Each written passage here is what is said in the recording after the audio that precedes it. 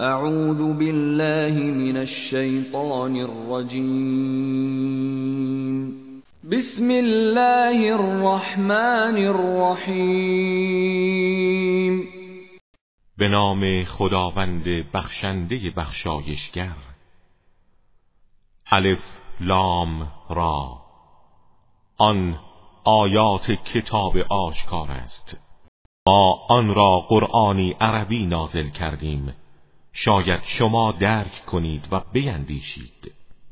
ما بهترین سرگذشت ها را از طریق این قرآن که به تو وحی کردیم بر تو بازگو می کنیم و مسلما پیش از این از آن خبر نداشتی.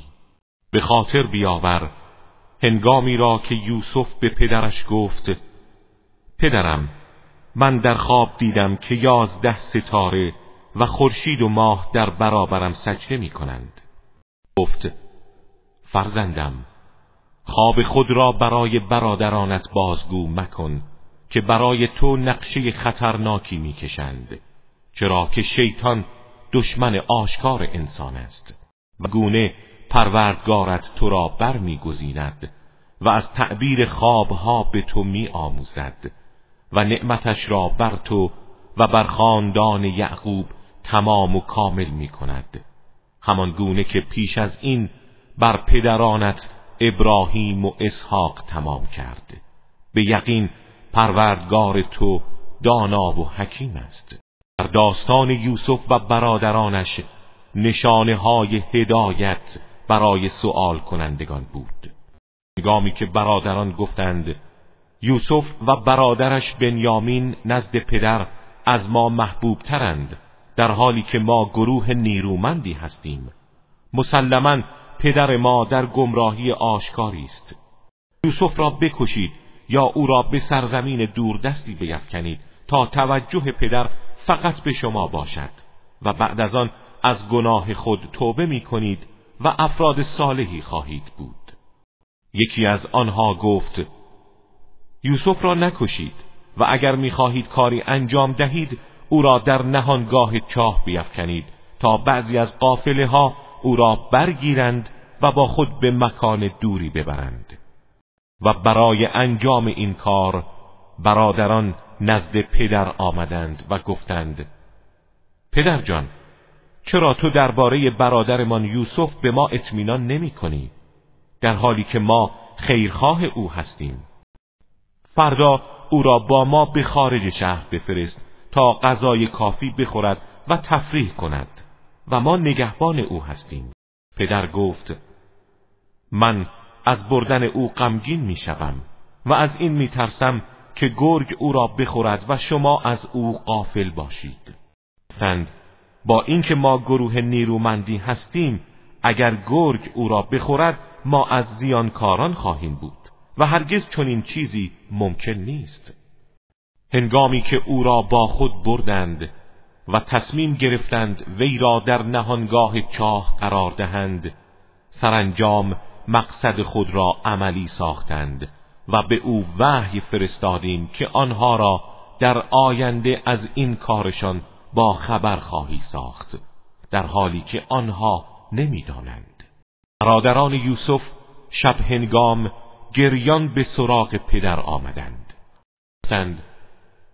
ای پدر ما رفتیم و مشغول مسابقه شدیم و یوسف را نزد اساس خود گذاردیم و گرگ او را خورد. تو هرگز سخن ما را باور نخواهی کرد هرچند راستگو باشیم.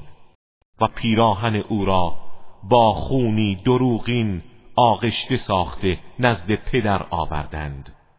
گفت هوسهای نفسانی شما این کار را برایتان آراسته. من صبر جمیل و شکیبایی خالی از ناسپاسی خواهم داشت و در برابر آنچه می‌گویید از خداوند یاری میطلبم. و در همین حال کاروانی فرا رسید و مأمور آب را به سراغ آب فرستادند. او دلو خود را در چاه افکند. ناگهان صدا زد مژده باد.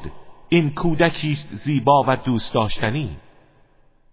و این امر را به عنوان یک سرمایه از دیگران مخفی داشتند.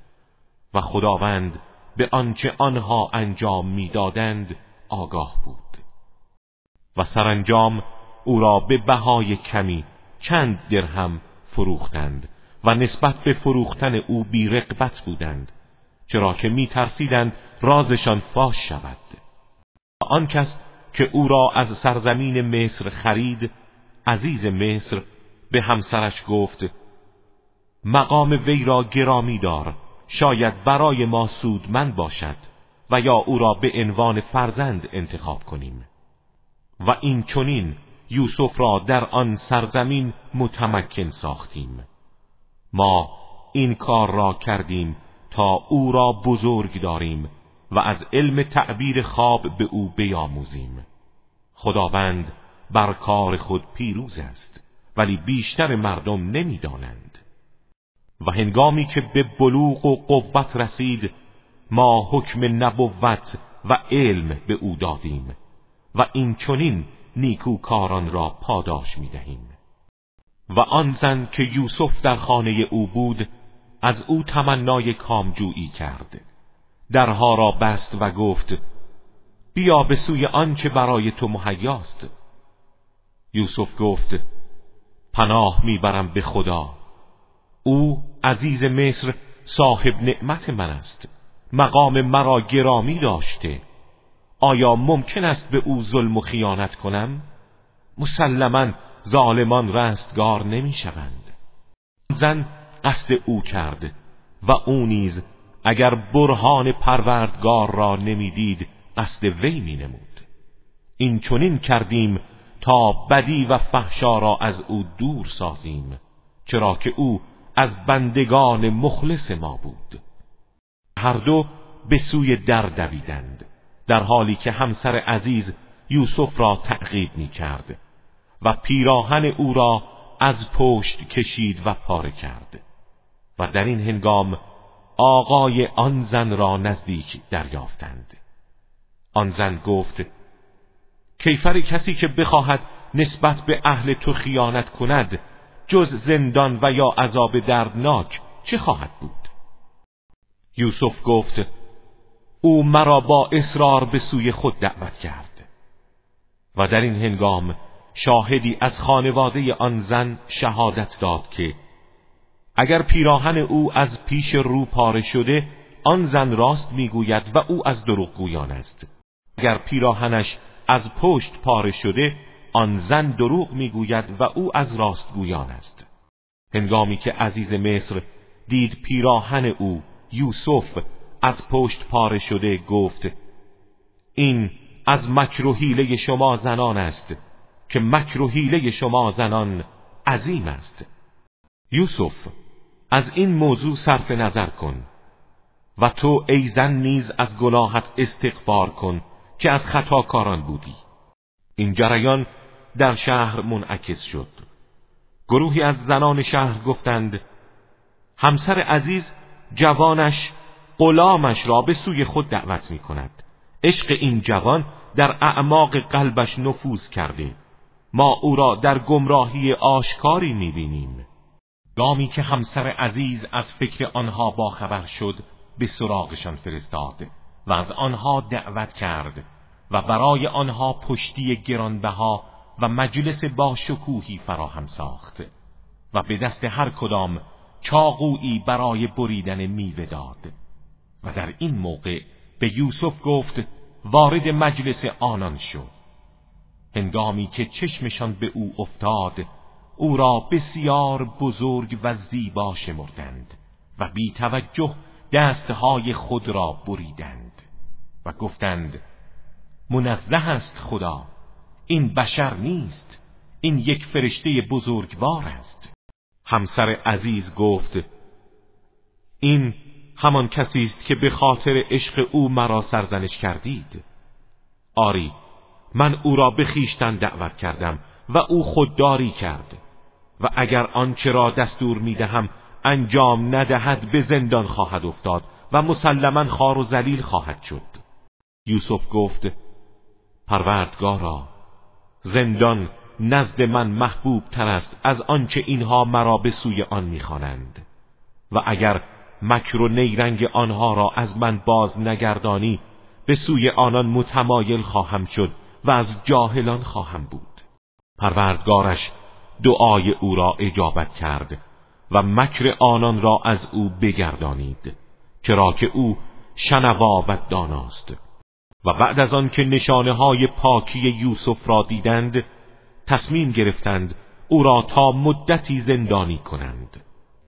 و دو جوان همراه او وارد زندان شدند.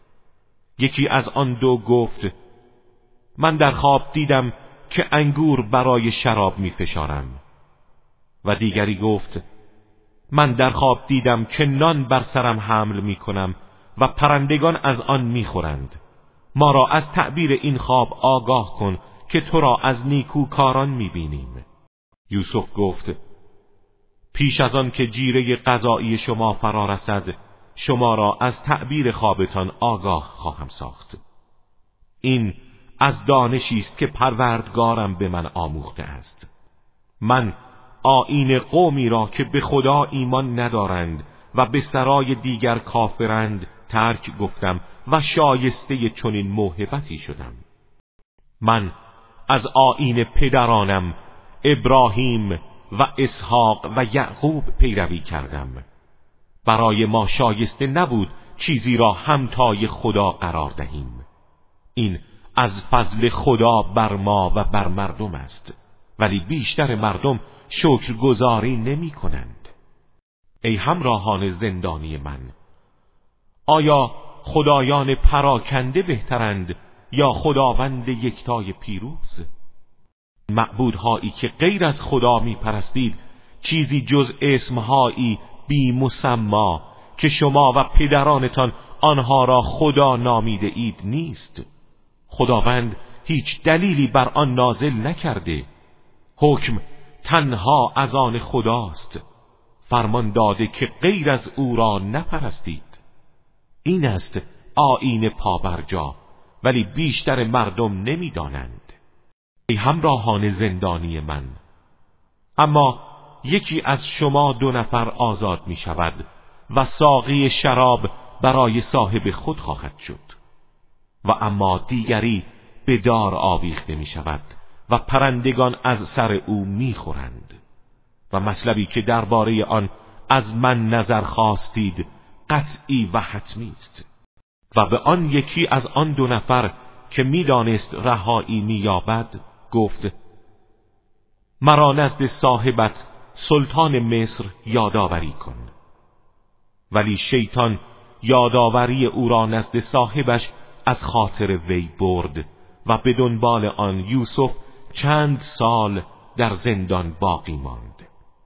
پادشاه گفت من در خواب دیدم هفت گاو چاق را که هفت گاو لاغر آنها را می‌خورند و هفت خوشه سبز و هفت خوشه خشکیده که خشکیده ها بر سبزها پیچیدند و آنها را از بین بردند.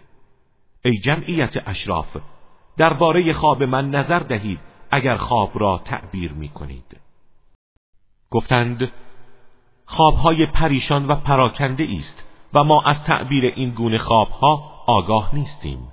یکی از آن دو که نجات یافته بود و بعد از مدتی به خاطرش آمد گفت من تعویل آن را به شما خبر می دهم. مرا به سراغ آن جوان زندانی بفرستید. او به زندان آمد و چنین گفت یوسف ای مرد بسیار راستگو درباره این خواب اظهار نظر کن که هفت گاو چاق را هفت گاو لاغر می‌خورند و هفت خوشه تر و هفت خوشه خشکیده.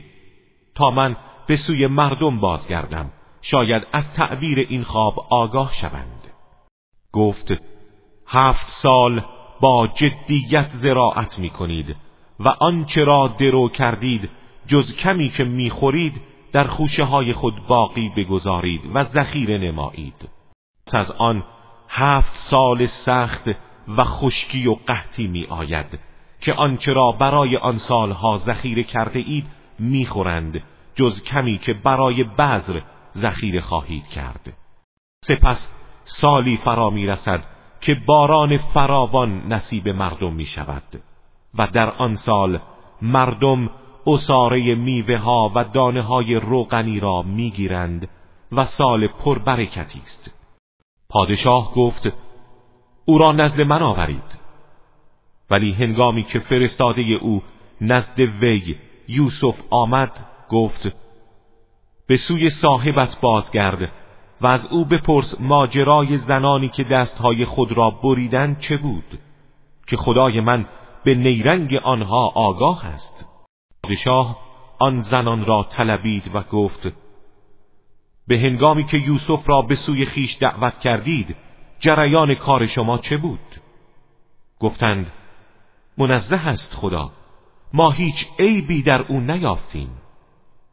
در این هنگام همسر عزیز گفت الان حق آشکار گشت من بودم که او را به سوی خود دعوت کردم و او از راستگویان است.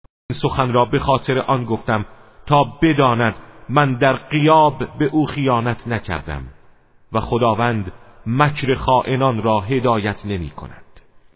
من هرگز خودم را تبرئه نمی کنم که نفس سرکش بسیار به بدیها امر می کند مگر آنچه را پروردگارم رحم کند.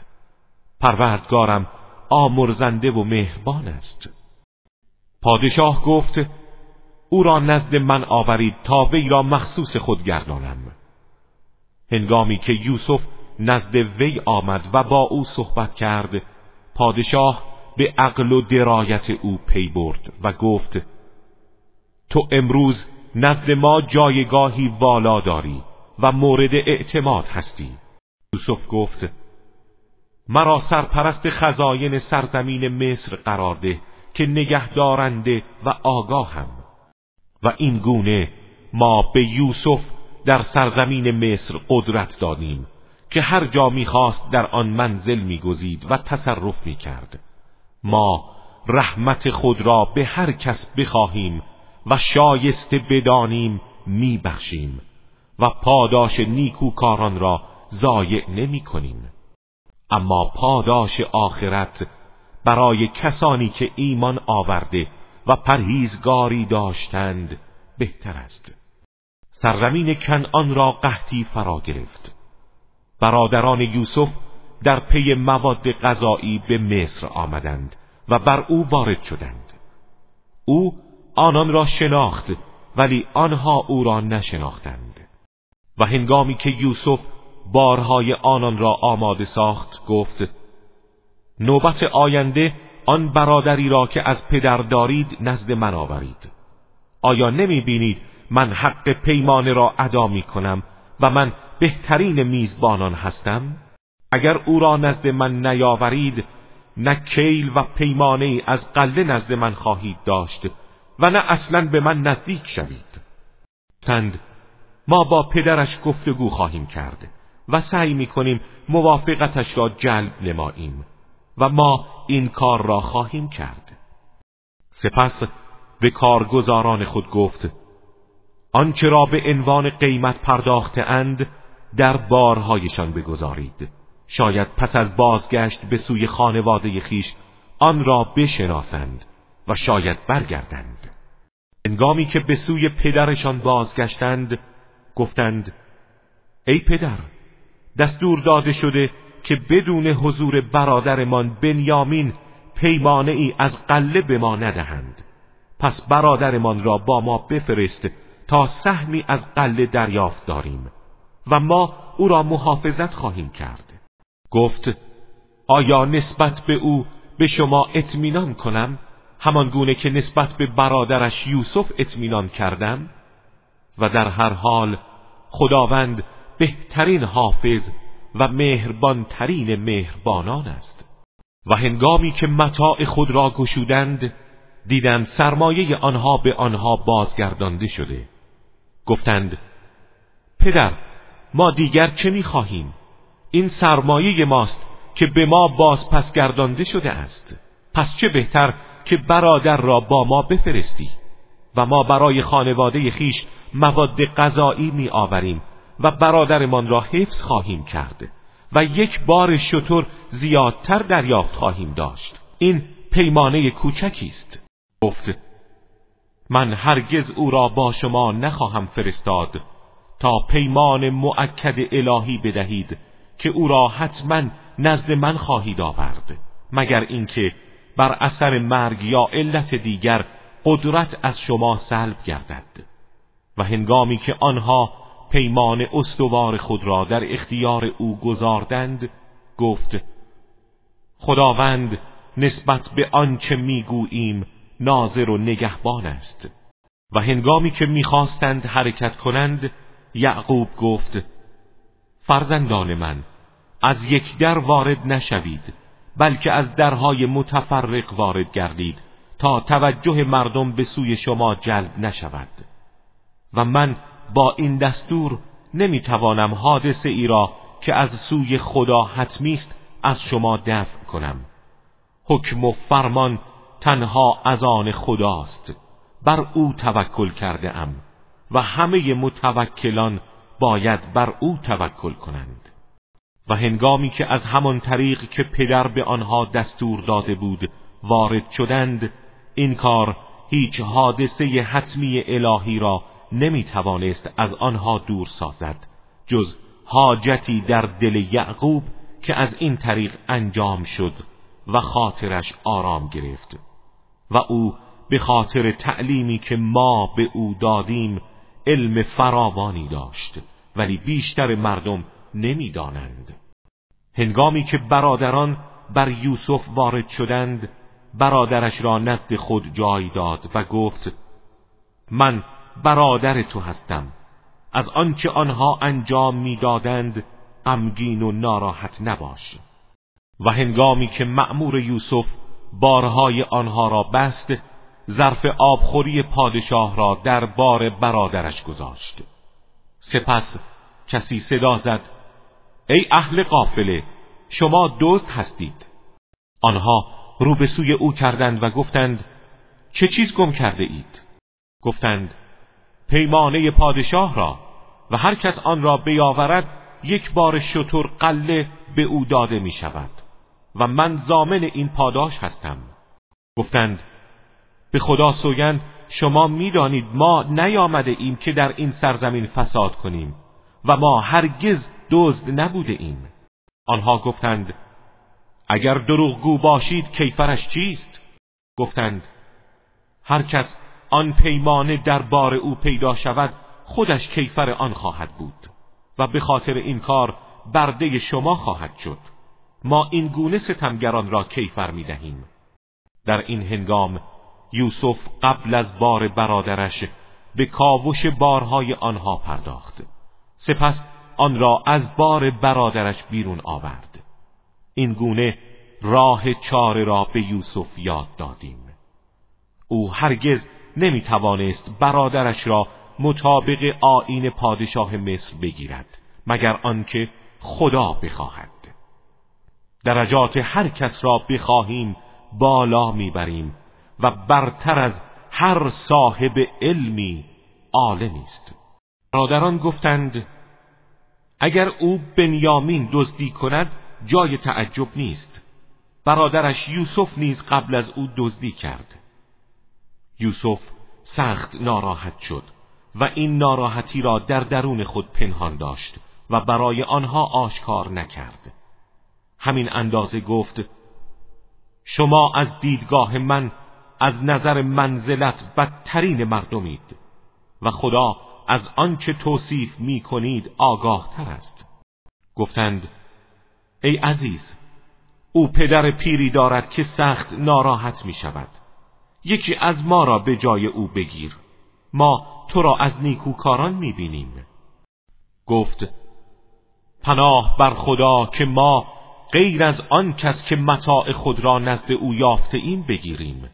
در آن صورت از ظالمان خواهیم بود. هنگامی که برادران از او معیوز شدند به کناری رفتند و با هم به نجوا پرداختند. برادر بزرگشان گفت آیا نمی‌دانید پدرتان از شما پیمان الهی گرفته و پیش از این درباره یوسف کوتاهی کردید؟ من از این سرزمین حرکت نمی کنم تا پدرم به من اجازه دهد یا خدا درباره من داوری کند که او بهترین حکم کنندگان است. شما به سوی پدرتان بازگردید و بگویید پدر پسرت دزدی کرد و ما جز به آنچه می‌دانستیم گواهی ندادیم. و ما از غیب آگاه نبودیم. و اگر اطمینان نداری از آن شهر که در آن بودیم سوال کن و نیز از آن قافله که با آن آمدیم بپرس و ما در گفتار خود صادق هستیم. یعقوب گفت هوای نفس شما مسئله را چنین در نظرتان آراسته است. من صبر می کنم صبری زیبا و خالی از کفران. امیدوارم خداوند همه آنها را به من بازگرداند چرا که او دانا و حکیم است. و از آنها روی برگرداند و گفت وا اسفا بر یوسف.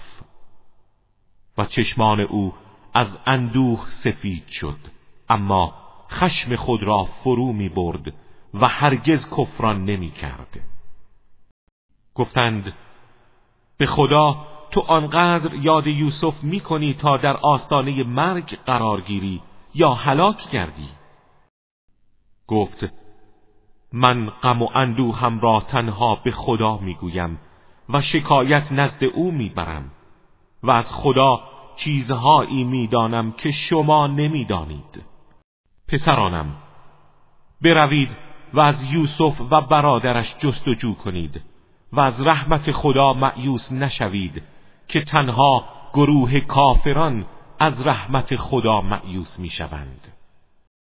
هنگامی که آنها بر او یوسف وارد شدند گفتند ای عزیز ما و خاندان ما را ناراحتی فرا گرفته و متاع کمی برای خرید مواد غذایی با خود آورده ایم. پیمانه را برای ما کامل کن و بر ما تصدق و بخشش نما که خداوند بخشندگان را پاداش می‌دهد گفت آیا دانستید با یوسف و برادرش چه کردید؟ آنگاه که جاهل بودید؟ گفتند آیا تو همان یوسفی؟ گفت آری من یوسفم و این برادر من است. خداوند بر ما منت گذارد هر کس تقوا پیشه کند و شکیبایی و استقامت نماید سرانجام پیروز می شود چرا که خداوند پاداش نیکوکاران را ضایع نمی کند گفتند به خدا سوگند خداوند تو را بر ما برتری بخشیده و ما خطاکار بودیم. یوسف گفت امروز ملامت و توبیخی بر شما نیست. خداوند شما را میبخشد و او مهربان ترین مهربانان است. این پیراهن مرا ببرید و بر صورت پدرم بیندازید تا بینا شود و همه نزدیکان خود را نزد من بیاورید. هنگامی که کاروان از سرزمین مصر جدا شد پدرشان یعقوب گفت من بوی یوسف را احساس می کنم اگر مرا به نادانی و کم عقلی نسبت ندهید. گفتند به خدا تو در همان گمراهی سابقت هستی. اما هنگامی که بشارت دهنده فرا رسید آن پیراهن را بر صورت او افکند. ناگهان بینا شد. گفت آیا به شما نگفتم من از خدا چیزهایی می‌دانم که شما نمی‌دانید؟ گفتند پدر از خدا آمرزش گناهان ما را بخواه. که ما خطاکار بودیم. گفت به زودی برای شما از پروردگارم آمرزش میطلبم که او آمرزنده و مهربان است.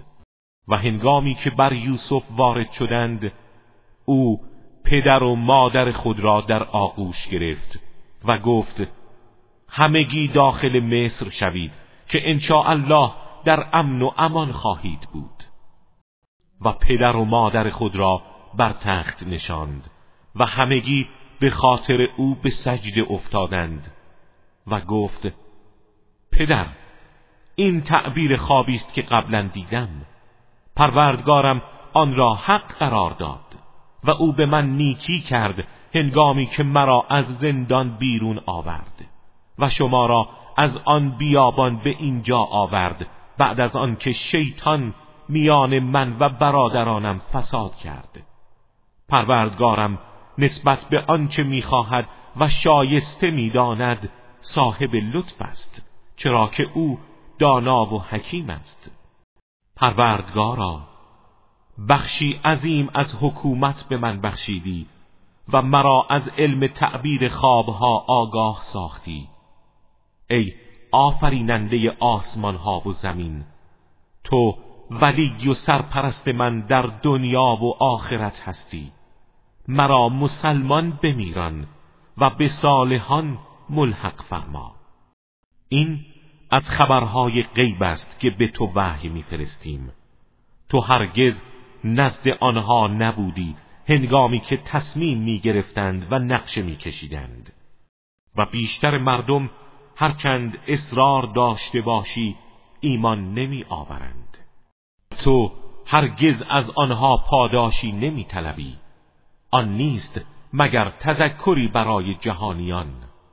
چه بسیار نشانه ای از خدا در آسمان ها و زمین که آنها از کنارش میگذرند و از آن روی گردانند. و بیشتر آنها که مدعی ایمان به خدا هستند مشرکند. آیا ایمن از آنند که عذاب فراگیری از سوی خدا به سراغ آنان بیاید یا ساعت رستاخیز ناگهان فرا رسد در حالی که متوجه نیستند؟ بگو این راه من است. من و پیروانم با بصیرت کامل همه مردم را به سوی خدا دعوت می کنیم منزه است خدا و من از مشرکان نیستم. و ما نفرستادیم پیش از تو جز مردانی از اهل آبادی ها که به آنها وحی می کردیم آیا مخالفان دعوت تو در زمین سیر نکردند تا ببینند عاقبت کسانی که پیش از آنها بودند چه شد؟ و سرای آخرت برای پرهیزگاران بهتر است. آیا فکر نمی کنید؟ نیاموران به دعوت خود و دشمنان آنها به مخالفت خود همچنان ادامه دادند. تا آنگاه که رسولان معیوس شدند و مردم گمان کردند که به آنان دروغ گفته شده است. در این هنگام یاری ما به سراغ آنها آمد. آنان را که خواستیم نجات یافتند و مجازات و عذاب ما از قوم گنهکار بازگردانده نمی شود. در سرگذشت آنها درس عبرتی برای صاحبان اندیشه بود.